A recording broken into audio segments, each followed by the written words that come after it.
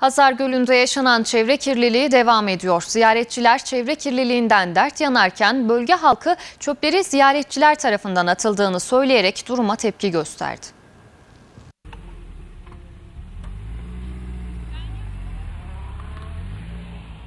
Görüntüler Elazığ'ın gözbebeği Hazar Gölü'nden.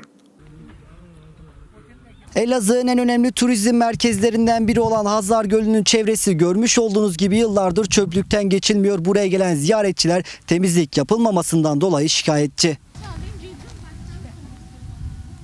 Hem tarihi hem de doğal güzellikler açısından oldukça zengin bir potansiyele sahip olmasına rağmen Hazar Gölü'nde yaşanan kirlilik içler acısı. Yaz aylarında Hazar Gölü'nde yaz turizminin keyfini süren vatandaşlar, sorumsuz insanların bıraktığı çöpler bir yana yetkili kurumların çevre temizliğine gerektiği kadar önem vermediğini iddia ediyor. Biz Malatya'dan buraya piknik yapmaya geldik ama gördüğümüz kadarıyla her yer çöplük. Hiç memnun kalmadık. Buranın bence temizlenmesi gerekiyor. Ee, insanlar çok kötü kullanmış. Bence bu e, güzel yer bunu hak etmiyor. Bölge halkı ise yaşanan çevre kirliliğinin sebebini göle ziyarete gelen vatandaşların sorumsuzca davranışlarından kaynaklandığını ifade etti. Kendimi bildim bileli buranın turizm bölgesi olduğu için dışarıdan gelen insanlarımız çok. Diyarbakır olsun, Malatya, Elazığ, Bingöl, Batman her yerden insanlar geliyor.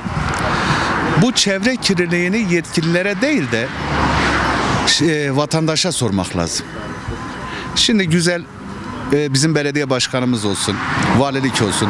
Bak bunların oturacağı güzel park yerleri yapılmış, sahiller yapılmış. Ama biz bunları kullanmayı bilmiyoruz.